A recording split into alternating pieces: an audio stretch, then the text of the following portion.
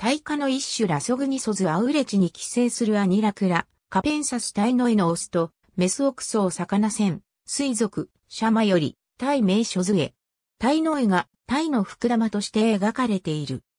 魚の絵花は、当脚目に属する魚の寄生虫のトガの一つ。漢字で書くと、魚の餌である。アジタイサヨリなどの魚のコーナーや、エラ、体表面にへばりつき、体液を吸う。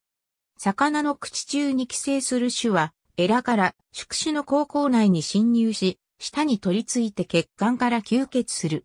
やがて舌は壊死し、舌のあった位置を本種が占領するため、釣った魚の口からよく発見される。スーパーマーケットに売っている魚でも、稀に口から魚の絵が覗いている場合もある。魚が死ぬと離れるため、釣った魚を入れておいたクーラーボックスの水の中で泳いでいるのを見つけることもある。しかし人間には無害で、誤って食しても人に寄生することもない。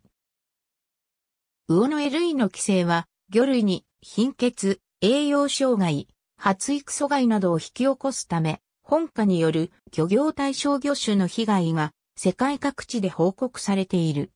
種類や宿種などについては、未だ不明な点が多い。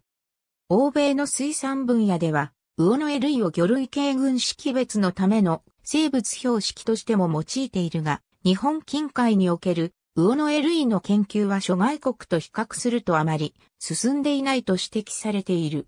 魚のエ類は寄生生活に適応した特殊な形態と生活サイクルを備えているため、進化生物学などの分野では研究対象として注目されている。